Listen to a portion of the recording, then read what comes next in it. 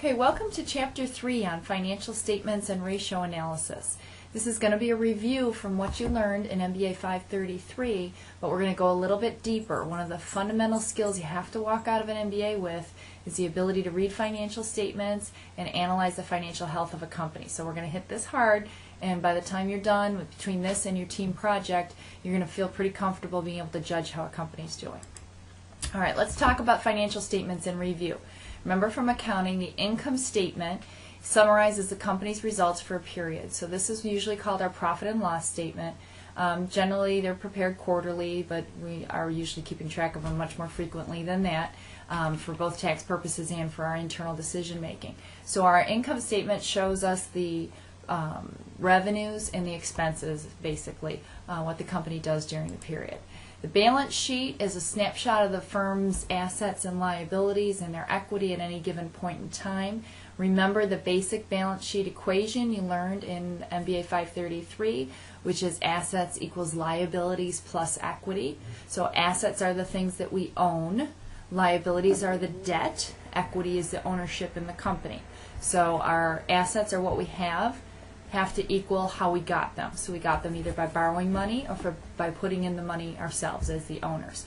So think about your balance sheet very simply as being your house. You know that your house is worth $100,000.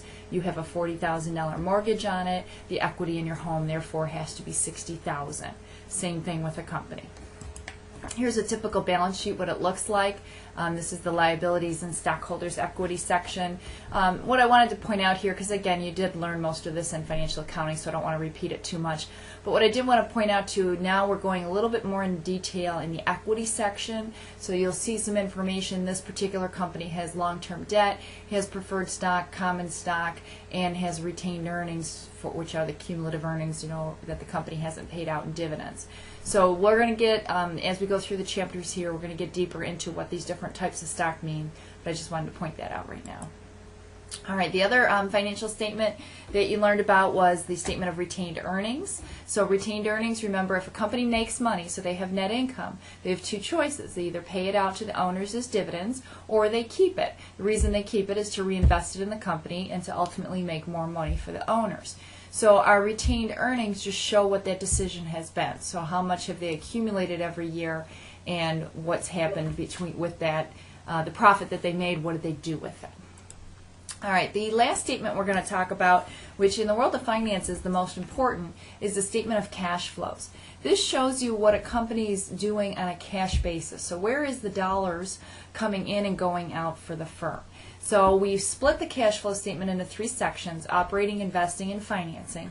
And we look at what happened, what brought cash into our business, and where did cash go out. So it's really important because we can't spend profits, we can only spend cash. Lots of companies may look good on paper, but when it comes down to cash flow, they don't have it. Cash flow is very important also for timing. So think about yourself in your personal life. You may know you make $50,000 a year in salary and you have $45,000 a year in expenses, so therefore you're fine. That's great. But what that doesn't tell you is, do I have $5,000 in the bank when the school tax bill is due? Cash flow is going to show you the timing of that money, when it comes in and when it goes out.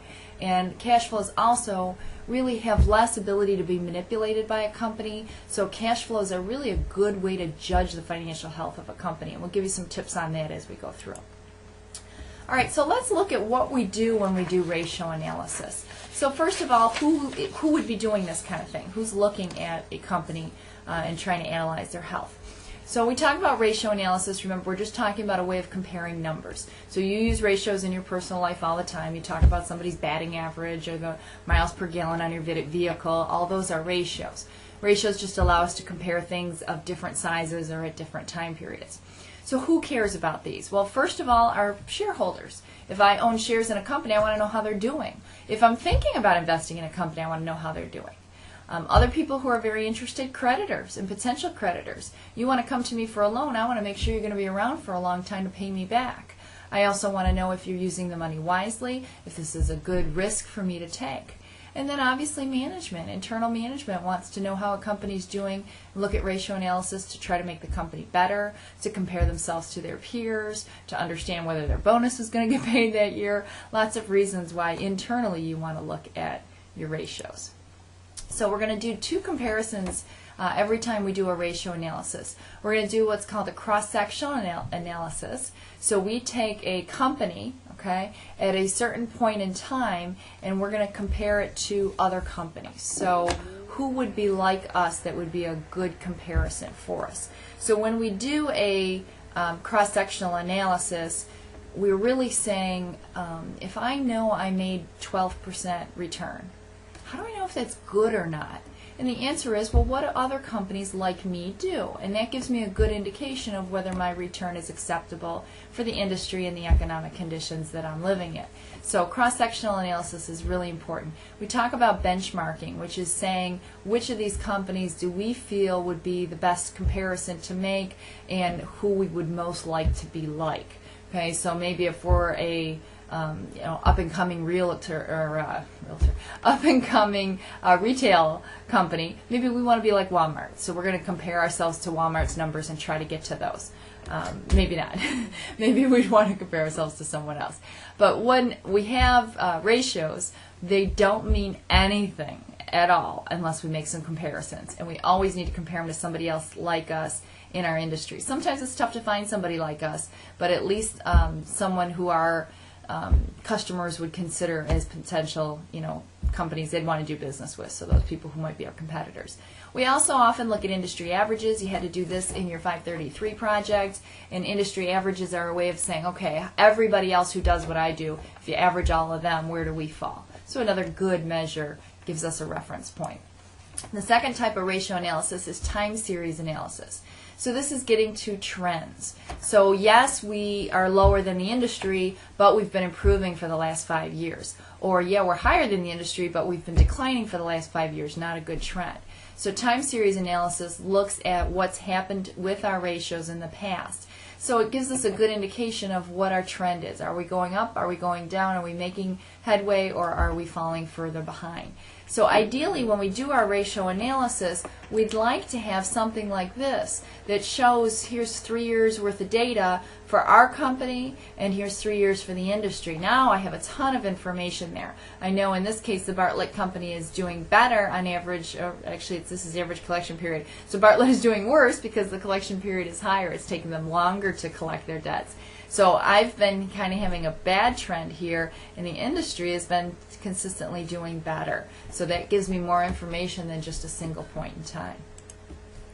So when we do the ratio analysis, we have to um, we have to do our ratios in we have to take some into account some potential problems with our ratio analysis. So in other words, they're a very important part of our financial story, but they're not the end all be all. Okay, so we have to always ask why. I tell my students all the time that if we do the very, very best job in ratio analysis that we possibly can, when we're all done, we have more questions than answers. And those questions need answers. So sometimes we can get them because we have access to the company or we can look up the information. And sometimes we can't. So we just have to make a judgment based on how severe are those questions and how much do they make us question the you know, viability of the company. So we're looking at the fact that these deviations from the norm are the possibility of a problem, but may not actually indicate a problem. So let's say I say, gee, you know, um, your profit margin has been lower than the industry average for the past three years. Um, it's improving a little bit, but it's still low. Well, then if I tell you that you know the company's main plant was hit by a hurricane four years ago, and they're still managing to make a profit, now you might feel better about it. So a lot of times there's extenuating circumstances. Um, we can never judge too much on a single ratio. We always have to look at a combination of ratios to really judge the company because ratios, like all financial numbers, can get manipulated. Um, we also have to try to look at audited financial statements to make sure the ratios that we're calculating are based on numbers that have been peer reviewed, you know, looked at by an analyst or some kind of um, outside auditor who has um, kind of blessed them to make sure that there's not funny business going on there. Um, and we also have to watch out for inflation. Yeah, our numbers may be getting better just because cost of living has gone up and we've been raising our prices. All right, let's talk about some of the ratios that we're going to be looking at. And we won't go into too much depth in these because the actual number calculations aren't hard. What's hard is trying to understand the why behind the ratios. So first of all, we're going to talk about liquidity ratios. Liquidity ratios give us an indication of the company's ability to repay their short-term obligations. So how much trouble could they get into in the short term? How much, how many um, assets do they have that will allow them to pay off their liabilities? So in this case, for current ratio, first liquidity ratio we look at, we take current assets and divide them by current liabilities. In this case for Bartlett, we took a million two divided by 620. We got a current ratio of 1.97. Again, it doesn't tell us much by itself. We need to have those comparisons both to the industry and a time series analysis. So if we look at this liquidity ratio of 1.97, we know that they have more current assets than current liabilities, which is good, but we don't know the exact, um, you know, how this fares versus the other companies in their industry. So most of the time, as a really general rule of thumb, we'd like our um, current ratio to be at least 2 to 1. They're pretty close to that, so it's pretty comfortable. As for some industries, it doesn't, they don't hit 2 to 1 because of the nature of their business. Some industries, they need to be actually much higher. So it's just very general rule of thumb there. Okay, we move on in liquidity to the quick ratio. Quick ratio, again, a measure of our ability to pay our short-term obligations. But now with the quick ratio, instead of looking at all our current assets, we take out inventory. So what we're really asking here is if we need to, if we need to liquidate assets in order to pay off our short-term debt, and we don't want to count on inventory, do we have enough? So here you can see for Bartlett, taking out inventory, our, current, our quick ratio is 1.51. That's pretty good. In general, we'd like our quick ratio to be at least 1. And that tells you that even without inventory, um, they still are relatively comfortable in their ability to pay their short-term obligations should they need to liquidate assets to do that.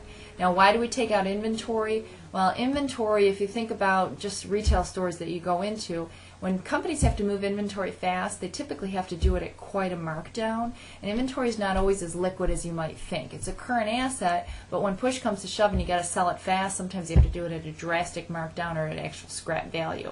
So we don't want to count on inventory if we're a creditor and we want the company to be able to pay us back. Okay, so that was just uh, introduction to a couple of the basic uh, liquidity ratios. There's quite a few more. Now we're going to move on to activity ratios. First activity ratio we're going to look at is inventory turnover. Inventory turnover is simply how are we moving our goods, turning product into sales. So we take our cost of goods sold and divide it by our inventory. And for Bartlett Company, we get an answer of 7.2.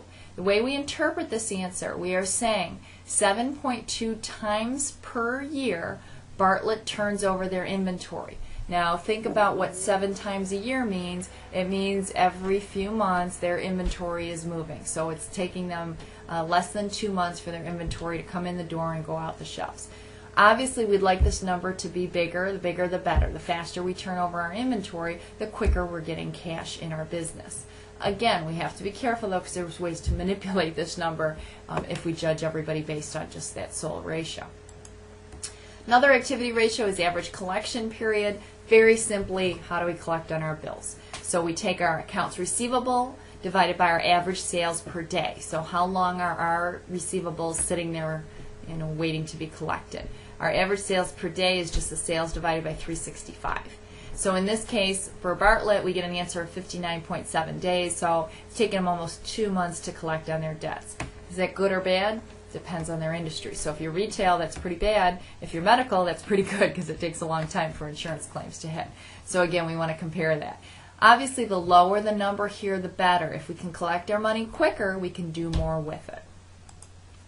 Uh, another activity ratio we look at is total asset turnover.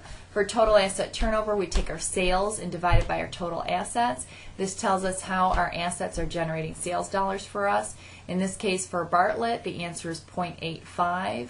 Um, how is 0.85? Again, depends on how the industry is doing. Their asset turnover is telling you how they convert asset dollars into sales dollars. In this case, uh, 3 million in sales out of 3 point, almost 6 million in assets. All right, now we're going to move on to the debt ratios. Debt ratios just give us some indication of how the company's utilizing debt or how much debt they're utilizing. So the first one is just the basic debt ratio, just liabilities divided by assets. So of all the assets we have, how much have we financed by liabilities versus equity? So in this case for Bartlett, it's 45.7%. It tells us that 46% of their assets are financed by debt. Therefore, the other percentage, so if we have 46 financed by debt, then 54% is financed by equity. Those two have to add up to 100 to keep that balance sheet equation balanced. So is 46% debt too high?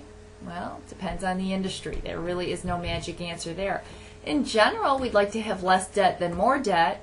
However, debt can be a very good thing. If the company's using borrowed funds to make more money for the owners, they can make more money for the owners than if they didn't use the borrowed funds. So it can be a good thing as well. So that one it's kind of hard to put a judgment on unless we have that industry comparison. Okay, another uh, debt ratio we look at is times interest earned. Times interest earned is our earnings before interest and taxes divided by our taxes.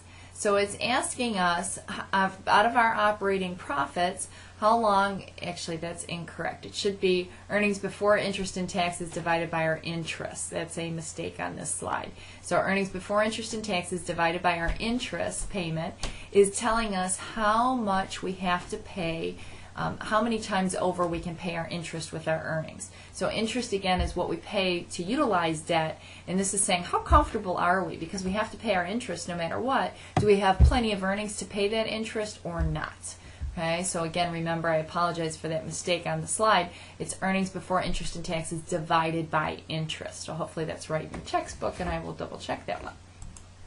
Okay, so for Bartlett Company, another option we have when we do an analysis of them is to do a common size analysis. And let me show you what that looks like here. Common size is just a way of taking from some baseline and making the same measurement. So in this case, you'll see Bartlett's income statement for 2012 and 2011. We always use sales for an income statement as our base, so sales is 100%. We take every other number on the income statement and divide it by our sales number. So in this case, we see our cost of goods sold was 68% of sales, our gross profit margin 32%, et cetera, et cetera, down. And we can then compare over time, even if our company's changed size, you know, it's gotten bigger, gotten smaller, we can compare whether our um, different categories of expenses have kind of gotten out of control or gotten, you know, made some improvements. So in this case, you could say, um, let's look at one here, like our depreciation expense went from 7.3% of sales to 9.3%. Why? What's going on? Um, why did our profit margin, our operating margin, go from 13.6 to 11.8? Um, or I'm sorry, 11.8 to 13.6. Okay, then we have a profitability ratio and a profitability ratio like our gross profit margin um, gives us just an indication of how much money we're making. How much money we're making. In this case, we take our sales minus our cost of goods sold and we divide it by our sales. Okay? What does that mean? So if we take our sales and we subtract out what we you know what those goods cost us and divided by our sales, that's our gross profit. That's how much money we're making before we subtract all the other stuff. So our our other operating expenses, our salaries um, for you know administrators and all that kind of stuff. So in this case, before we consider all those other expenses, um, Bartlett's making 32%. So sounds pretty good, but we don't know until we compare it to something. Our net profit margin then is after everything else is subtracted divided by sales. So 32% is just our cost of goods sold. Net is after everything else is taken out. You can see here Bartlett drops down to 7.2%. Again, could be good, could be bad, depending on the comparison. Okay, the other profitability ratio we look at is earnings per share. Um, earnings per share is a real popular measurement for a stock of a company. We take the earnings available for the common stockholders, we divide by the number of shares outstanding. So it's a way of measuring based on our investment in the company, how much is the company making us. So in this case, the company made 221,000. They had 76,000 um, stockholders, so they got about 290 per share. It doesn't mean every stockholder got a check for 290 because the company may have uh, retained quite a bit of that or all of it, but it just kind of gives us an idea for our investment how much money the company is making. All right, then we have um, return on assets. Return on assets is basically how much um, our assets are generating for us. So we take our earnings available for common, so that's on our income statement, divided by our total assets. Obviously, we would like our assets to generate as much as possible for us. So in this case, our assets are generating a 6.1% return on assets. If we can make more money off of less assets, we're going to have a competitive advantage compared to our other companies in our industry. So that's one of the things that return on uh, assets is measuring for us. Okay, then we look at return on equity. So this is looking for the investment that the common stockholders make. How much money are we making for them? So we take our earnings available for common stockholders and divide it by the common stockholders' equity. And in this case, you see that our equity holders are making 12.6%. So that's how much we're earning on their behalf. And they can compare that to other earnings, um, you know, other potential investments they have and see if we're doing a good job or not. Okay, another ratio that we like to use, um, actually it's really common, uh, commonly used to make investing decisions, is the uh, price earnings ratio. Price earnings ratio takes the market price per share of common stock and divides it by an earnings per share. Okay, when we take market price per share divided by earnings per share, we're taking a market number, market price that's set by the stock market by buyers and sellers coming together, and we're dividing it by an accounting number, earnings per share. So our answer, like in this case for Bartlett, we have a current stock price of 32.25. Our earnings per share was 2.90. We got an answer of 11. That's telling us that for every dollar in earnings, stockholders are willing to pay $11 for the stock. So it's telling us a measure of how expensive a stock is relatively. So a higher PE ratio would indicate that people are willing to pay more for the same dollar of earnings. Why would they be willing to pay more? Because people buy stock based on the future, what they think is going to happen to a company. So the higher the PE ratio, the more um, investors expect that company to do higher, better earnings, do better later. So it's really a measure of the uh, investor confidence in the stock. A high PE ratio means people are bullish on the stock, they think it's going to do well. A low PE ratio can mean the opposite. They're not too happy about the stock, they don't think it's going to do well. Sometimes, though, a low PE ratio can mean people just don't know about this company or it's been unfairly tarnished because of some other issues in the news with companies in its industry or something like that. So the PE ratio is one of those that um, you know, if you pick up the Wall Street Journal or your own local newspaper's business section, you'll see it reported on the ticker line um, for that company. PE ratio is one a lot of people make their in- investing decisions based on. But it's not clear how you should make that decision. So, in other words, some people, and we call these guys growth investors, typically pick stocks with high PE ratios because they think those stocks are hot stocks that are going to continue to get hotter and they're going to continue to make money for them. However, those stocks are relatively expensive, so it's harder to make money when you buy something relatively expensive. A value investor looks for stocks that have low PE ratios, and they're hoping that they found something that the market is undervalued. They buy it cheap, and they're going to be able to then make a whole bunch of money. So both are very popular with a lot of big name investors. Uh, two schools of thought on how to invest. Okay, the last thing we're going to talk about in this chapter is the DuPont system of analysis.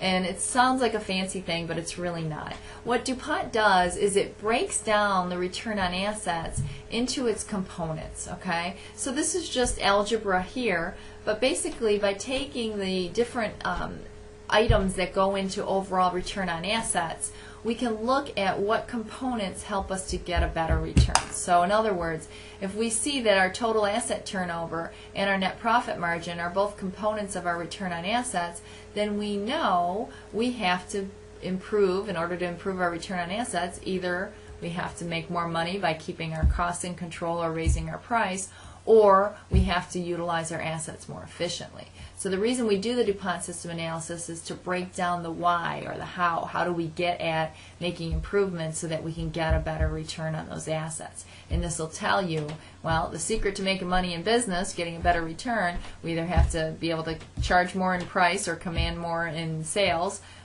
be more efficient in our costs by lowering our costs, or we have to be more efficient how do we utilize our assets. So all of those are keys to how a business does better. So hopefully you've gotten a little bit of an introduction here into ratio analysis, and uh, you'll get plenty of opportunity to practice this in your team assignment as well as this week's homework assignments.